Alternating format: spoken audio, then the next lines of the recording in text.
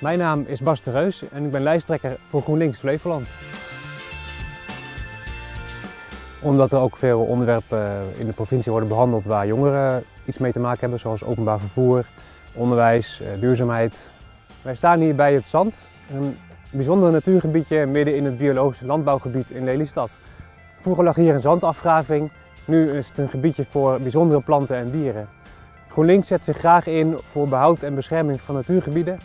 En dan niet alleen maar de grote, zoals de Oostvaardersplassen, maar juist ook dit soort kleine.